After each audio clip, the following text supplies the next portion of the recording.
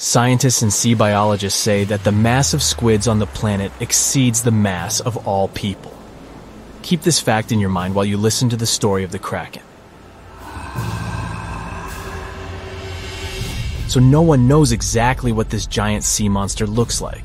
But according to the stories of old fishers and taverns, the records of travelers and legends, the Kraken looks like a giant squid. If so, it has the squid's anatomical properties and reproductive functions. And this is a big problem for us. A female squid can lay anywhere from 3 to 100,000 eggs. Even if most of them don't survive, it's still a lot. Many of these creatures live in the ocean's dark depths that people haven't yet fully explored, and it seems we'll know more about squids soon. The metabolism of these creatures is accelerating thanks to the increase in water temperature, and this causes population growth. Scientists call squids the weeds of the seas because of their rapid reproduction. They can potentially exceed the population of all fish and mammals. Perhaps there will be so many of them soon that they won't have enough food on the ocean floor. They will begin to migrate closer to the surface, small squid and monstrous giant ones. There may be a kraken among them, or a few, or even tens, hundreds of thousands. And if this happens, humanity and all animals on Earth will face a huge problem. As the kings of nature, people can easily invent poison to destroy krakens. But how to spread this poison? Giant squids, along with ordinary fish, dolphins, whales, seaweed, and phytoplankton, will suffer if it gets into the water. More than half of the world's oxygen is produced by the ocean. And if people spread this poison in the water, they'll risk disrupting the entire planet's ecosystem. The ocean will become lifeless. So, People have to forget about poisoning the water. For a while, we will be helpless against the squid apocalypse. Let's say a couple of billion squids rise to the surface. A couple million of them are krakens. The first thing these monsters will want to do is get food. Lunch for them can be both shoals of fish and massive whales, and no one can stop them. Even if megalodons existed, they wouldn't be able to resist the giant tentacles and strong beaks of krakens. The fish population in the ocean has declined. This means that people can't go fishing anymore. We can catch fish in lakes, rivers, and seas, but it's not enough. Seafood has become very expensive all over the world. A fish tank with goldfish is a luxury. Of course, humans learn to catch giant squids, which solves the problem of hunger in some areas. The profession of a squid catcher is becoming prestigious all over the world. This kind of fishing is dangerous and requires a lot of strength and courage. The second problem is sea travel. Every day, people transport millions of tons of cargo across the ocean. Huge businesses and economies of entire countries work thanks to such transportation. But now, krakens swim close to the surface and make any voyage dangerous. One monster can quickly destroy a small ship. Ten or twenty krakens are able to sink a giant cargo vessel. This leads to a reduction in logistics chains. Communication between continents is now maintained by air. The number of flights is increasing. Plane tickets are rising in price. Travel is becoming too expensive. This leads to a reduction in the number of tourists in some countries, which disrupts their economies. There are more krakens and less food. Resting on a beach also becomes dangerous. Aggressive, hungry giant squids can come ashore to catch sunbathers. All shores are fenced. Swimming is forbidden. Of course, scientists invent some things to fight squids, Sound barriers, for example. Every ship is now equipped with a device that launches powerful ultrasonic waves into the water. They scare away all the fish and clear the way for boats. In the beginning, it helps, but then Kraken stop fearing it. Ultrasound only angers them. They pounce on ships and break sound barriers. Another thing that scares them away is sunlight. For millions of years, krakens have been living on the dark ocean floor. Their eyes are used to the darkness, so they fear the bright light during sunny weather, ships move freely. But as soon as the sun goes below the horizon or clouds obscure it, sea monsters come out of the ocean depths. It doesn't help much because it's impossible to sail across any ocean within a single sunny day. In addition, there is no guarantee that you won't get caught in a storm when the sun is hidden behind the clouds. That's why people invent powerful floodlights. They direct their beams at monsters' heads and drive them into the dark depths. Such projectors are expensive because they require a lot of energy. Only some ships can afford such a device. And while people seek more effective ways to fight krakens, squids multiply, and this becomes the solution to the problem. The ocean is running out of fish. Food is not available on land. Like a snake devouring its tail, squids start fighting with one another. The water foams, and squids cling to each other with tentacles.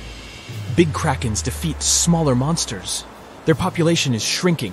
A few giant squids the size of the Eiffel Tower survive after long battles. And when the fight is over, little squids come into play. Billions of cephalopods pounce on giant krakens. They are like flies clinging from all sides. Giant monsters can't fight them. Great, the problem with voyages is solved. Large ships can set sail, but it's still dangerous for people to swim in the sea since tiny monsters are still hungry. Logistics chains have been restored, but fish are still scarce in the ocean. Squids, like parasites, don't allow other creatures to dominate, and here, scientists come to help fish. Let's go back to our reality for a second. There's such a thing as a gene drive. It's a substance that changes the genetic code of living creatures. For example, scientists have implemented a gene drive in mosquitoes that cause malaria. Biologists changed the genome of these insects, so some female mosquitoes became infertile. Then these females spread the gene throughout the mosquito colony. As a result, more insects that couldn't conceive appeared. They continued to spread the gene, and this went on until the population reduced significantly. A gene drive is a low-cost way to get rid of invasive species of insects or rodents. Thus, scientists can control the population of entire species. But such actions can be dangerous. If some animal disappears, it can disrupt the whole ecosystem and lead to the disappearance of other animals. In the case of mosquitoes, nature didn't suffer much. So scientists use a gene drive against squid. But why couldn't they do it from the very beginning? Ordinary squids didn't pose a threat. And their average life expectancy is from 3 to 5 years. If scientists had launched a gene drive, then in 7 years all small squids would have disappeared. But it wouldn't have worked with krakens. According to myths and legends, one such monster can live for several hundred years, now, when small squids have solved the problem with large ones, a gene drive comes into play. It takes several years to get rid of the squid. The ocean ecosystem begins to recover. People take fish and marine mammals from seas and rivers and transfer them to the ocean. The population of whales, sharks, octopuses, salmon, and hundreds of thousands of other species is growing. But then another threat awakens in the depths of the ocean it turns out that when squids and krakens lived on the ocean floor, they didn't let even more terrible monsters move to the surface. Now that all arthropods have disappeared, new monsters are breaking free. First, marine earthquakes begin, but then scientists discover that it's not the seabed shaking. Those are the backs of giant crabs. Hundreds of thousands of armored monsters with claws are rising to the surface, and this time, they can come ashore.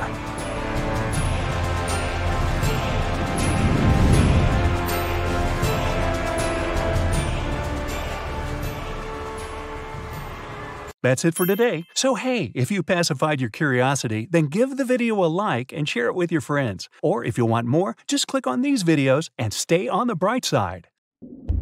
The Stonefish Stonefish aren't going to win any beauty contests, unless the pageant is for Best Rock Look-alike. Their tiny unreflective eyes and rough skin blend in perfectly with their environment. A large head, an even bigger mouth, and a home full of yeah, it's rocks. And just because you're on the beach doesn't mean you're safe. Stonefish can survive for 24 hours out of the water. Stepping on one, or even handling one, won't be that fun. Their dorsal fin spines have extremely strong venom. It shoots out when they get stepped on, and can lead to paralysis or even heart failure. You'll need help fast. No wonder they're one of the most dangerous creatures in the water, or anywhere. Be careful when scrambling around rocky areas. They love to play hide and seek. The Deep Sea Dragonfish. If there were a prize for the most hideous fish in the ocean, the deep sea dragonfish would win. With slimy, scaleless skin, massive teeth, and a face only a mother could love, this bad boy of the sea is nothing to mess with. It likes to swim between 700 feet and 6,000 feet below the surface of the ocean, where the waters are the darkest and coldest. Along with some other creatures on this list, the deep sea dragonfish relies on its bioluminescent body parts to catch prey. It also uses its hanging appendage, which boasts a little red light on the end, coming out from its lower jaw. Many fish mistake this little light for prey, luring them right into the jaws of the deep sea dragonfish. Very clever dragonfish, very clever indeed. The Fangtooth. The Mariana Trench is an underwater trench with a depth of 35,000 feet, nearly 7 miles below the ocean surface. Let that sink in. While scientists know the Mariana Trench exists, it's one of the least explored places on Earth. It's also the deepest area of Earth's oceans.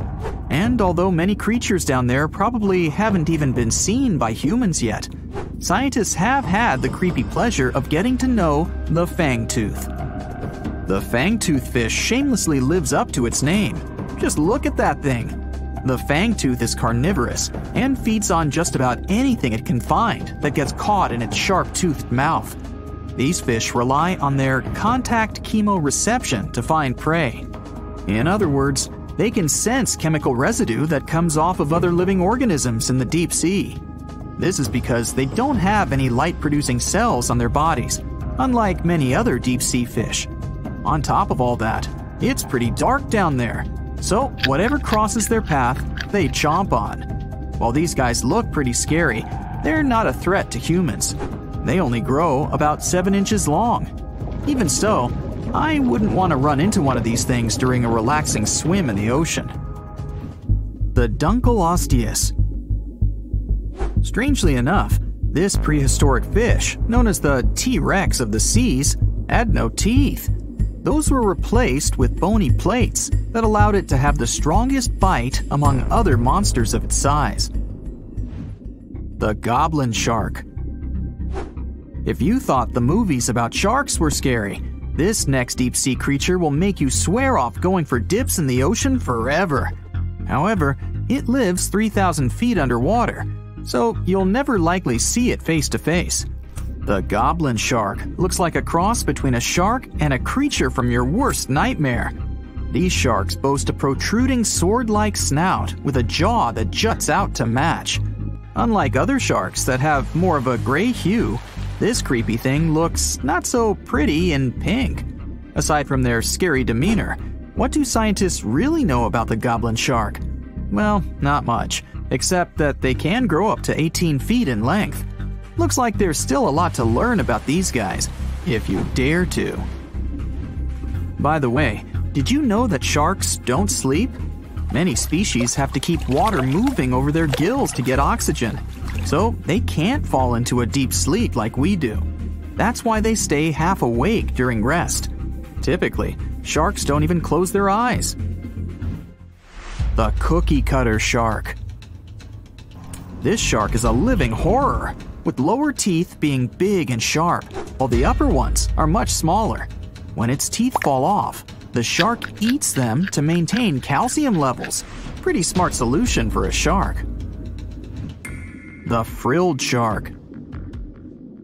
Studying the frilled shark is like looking through a portal back to prehistoric times. That's because scientists think that these eel like sharks haven't changed much since their oldest ancestors roamed the deep sea waters, so they're sometimes referred to as living fossils. These sharks' mouths are filled with a terrifying 25 rows of backward facing sharp teeth, 300 in total. They're designed to grasp prey and hold them tight so they can't get away, according to early studies of the shark conducted in 1884 and published in the Bulletin of the Essex Institute. Luckily for swimmers, the frilled sharks live between 390 feet and 4,200 feet below the ocean's surface, so they'll probably never run into them. Probably. This is probably the worst nightmare of any dentist. The Northern Stargazer. Take a look at this cutie. The Northern Stargazer is definitely not something you'd wish to see on the ocean floor. This horrid creature hides its body under the sand, leaving its face above to wait for prey. The Tasseled Wobbegong. Here's another carpet shark on our list. It lies low on the bottom of the sea and patiently waits for its prey to come by. The Australian Ghost Shark. The Australian ghost shark isn't really even a shark, but a very bony fish. It's also a living fossil it hasn't changed within the last 400 million years.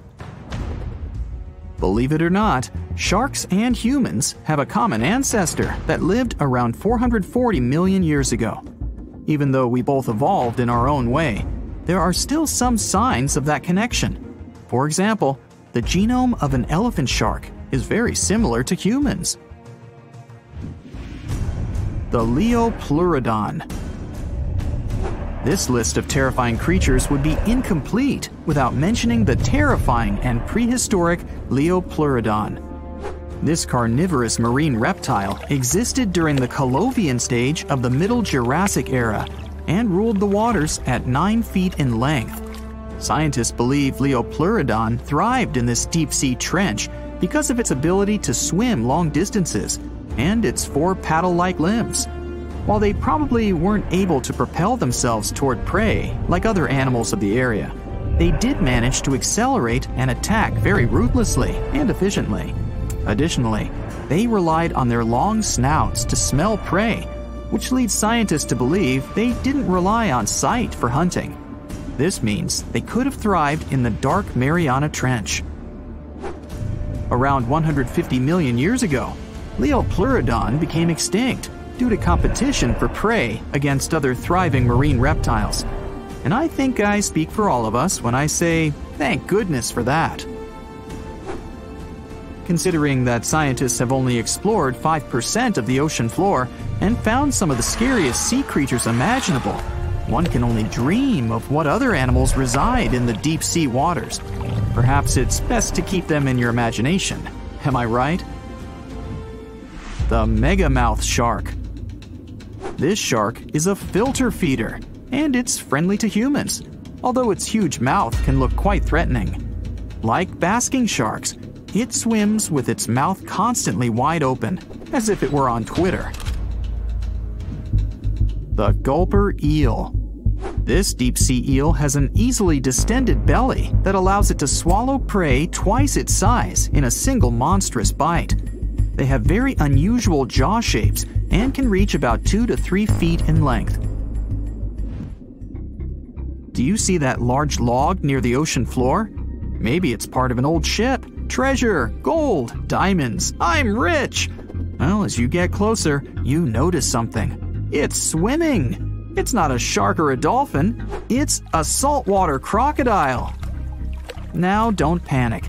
If you bump into one of these reptiles in the sea, it's unlikely it'll think of you as food. Crocodiles have a special valve in their throat that stops them from drowning underwater, but that doesn't mean they can't bite. Usually, they're heading to a nearby island, and the quickest way there is to body surf. They can't really take the ferry, you know. Watching one from a distance should be okay. Just don't swim to shore right away. They love to ambush their lunch in shallow water. If there's one time I'd want to see a great white shark, it's when I'm diving with crocodiles. They'll gladly take a crocodile sized nibble, given the right motivation. Think you know what lurks in the depths of the ocean? While nearly 95% of our oceans haven't been explored yet, it's hard not to let your imagination run wild. But thanks to brave explorers, deep sea cameras, and awesome archaeologists, we do know about some pretty incredible sea creatures living in our waters today, and millions of years ago. From the 9 foot spider crab to the 60 foot prehistoric megalodon, these sea dwellers come in all shapes and sizes. But let's focus on sea creatures famous for their huge size. Can you guess which living species of whale is the largest? Well, it's not the orca, but that's a good guess. The orca is a toothed whale that can grow to anywhere from 23 feet to 32 feet, which is slightly smaller than a school bus. How about the narwhal? Nope, they're not the biggest either.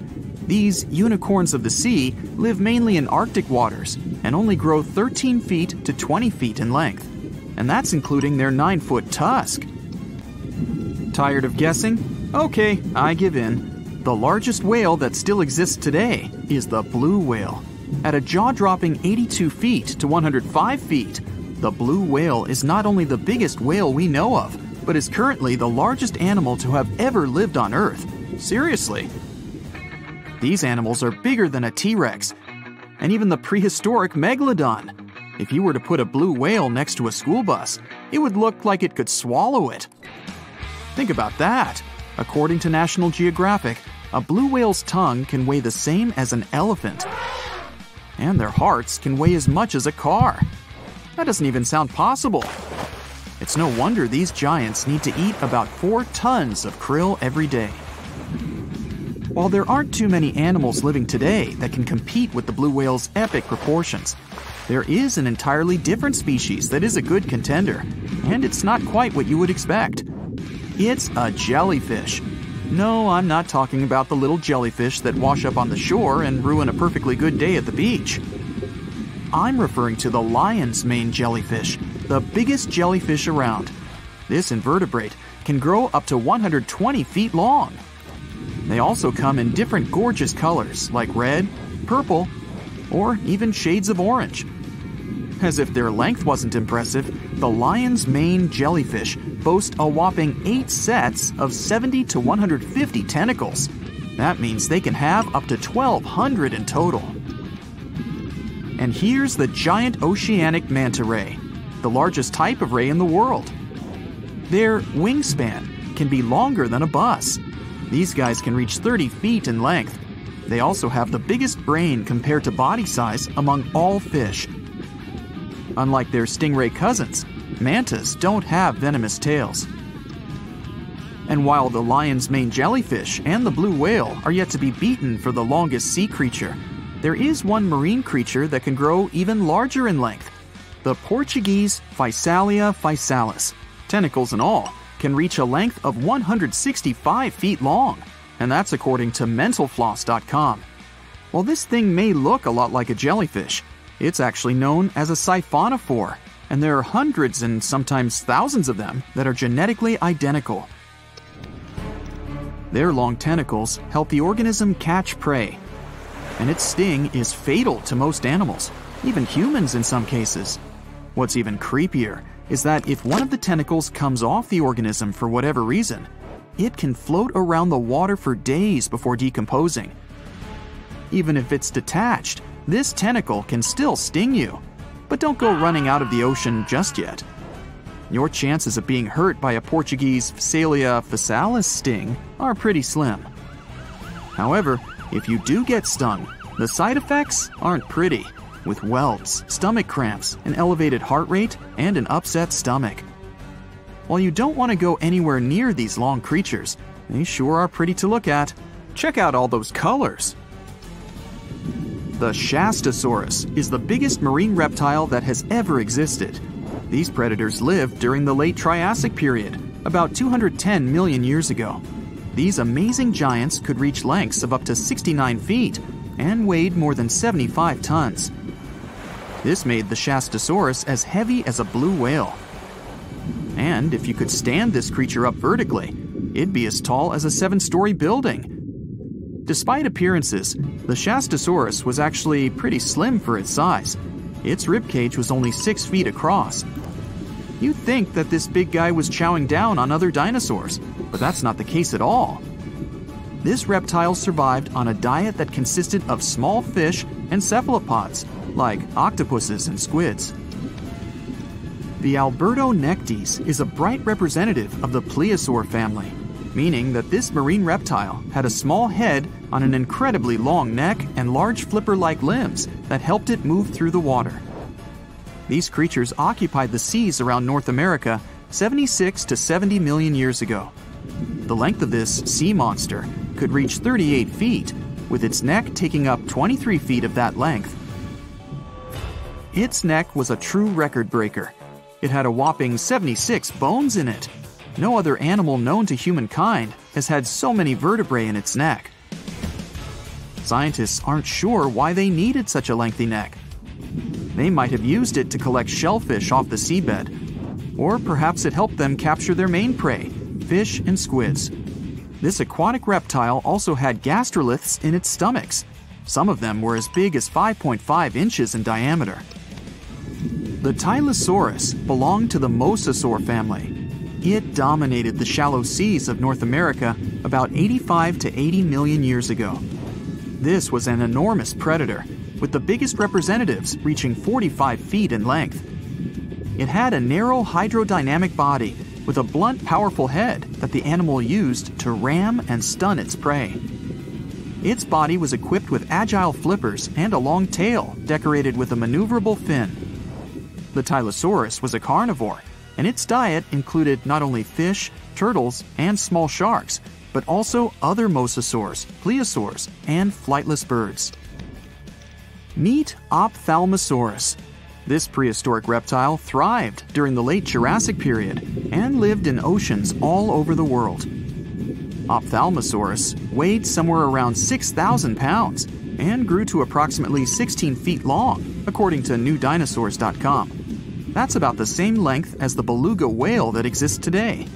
It's too bad these guys went extinct before we had a chance to see them ourselves, as their cartoonish wide eyes and dolphin like features are pretty darn cute. Of course, the Ophthalmosaurus evolved over time to become ophthalmologists, or eye doctors that we know today. No, that's just a lie. Just testing you. The Mosasaurus is a truly gigantic predator that dominated the seas all over the world about 66 million years ago. According to fossil evidence, some specimens could be more than 50 feet in length. This fact makes the Mosasaurus the biggest marine carnivore of its time. One of the most terrifying things about this creature was its crocodile like head, decorated with literally hundreds of razor sharp teeth neatly organized in two rows on both jaws. The thing is that it was pretty challenging for the Mosasaurus to grab its prey in the water. That's why it had all these teeth, plus something special pterygoid teeth anchored to the bones on the roof of its mouth. This made hunting and holding onto its prey much easier. The Styxosaurus belonged to the Plesiosaur family and lived during the late Cretaceous period, around 85 to 70 million years ago. Upon first glance at this dinosaur, you might mistake it for a sea snake, and it'd be an honest mistake. Styxosauruses were about 35 feet in length, but over 16 feet of that consisted just of their long snake like neck. They had a comparatively small body and weighed approximately 4 tons. Their mouths were full of razor sharp cone shaped teeth that they used to catch fish. They didn't need to chew their prey, thanks to the 200 small stones called gastroliths in their bellies that probably aided in digestion. At the same time, some scientists believe that the Styxosaurus used these stones to sink to the ocean bottom in search of particular types of fish. Huh, looks kinda like Nessie to me. What's the scariest predator under the ocean? The crocodile? Huh, I don't think so. Loch Ness Monster? Please, it never existed. How about the Kronosaurus? Well, it is extinct, but you might be onto something. Let's take a look at what it'd be like if these creatures were still around today. First things first, what on earth was it? The Kronosaurus was a marine carnivore that lived in the cool, high latitude Eromanga Sea. It covered vast areas of inland Australia between 90 and 120 million years ago, during the early Cretaceous period. Near complete fossils of the creature were also found near Colombia, which is a country that has a noted connection to prehistoric reptiles and turtles. This fact makes it extremely possible that the monster I'm about to describe existed worldwide. You might have heard Saurus and thought, oh, it's a dinosaur. But these were actually reptiles. They were the largest member of the Pliosauroidea family, referred to as plesiosaurs. Fossil evidence suggests they weighed over 20,000 pounds and were roughly 30 feet in length. Just to put that in perspective, the longest crocodile ever measured was a saltwater crocodile by the name of Lolong from the Philippines. It was 20 feet in length and weighed just under 2,500 pounds.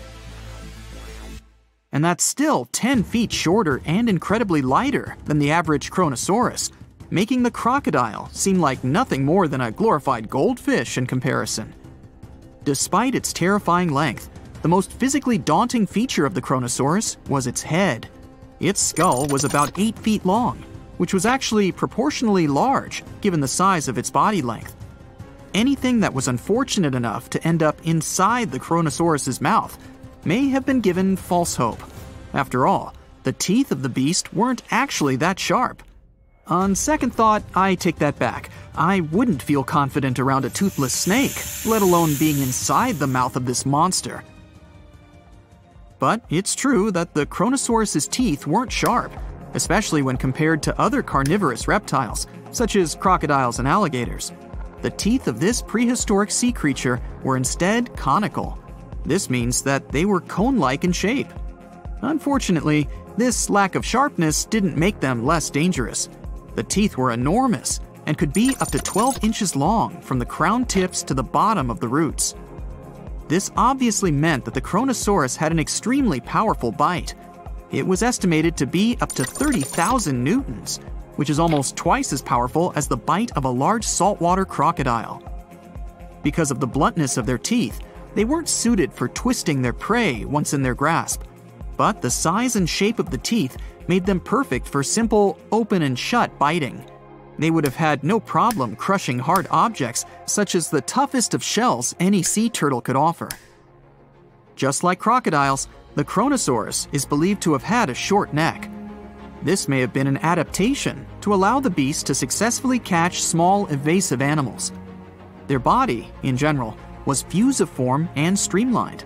This means it was narrowed at both ends and had very little resistance to the flow of water. The Kronosaurus was also equipped with four paddle like limbs. The hind limbs were larger than the front ones.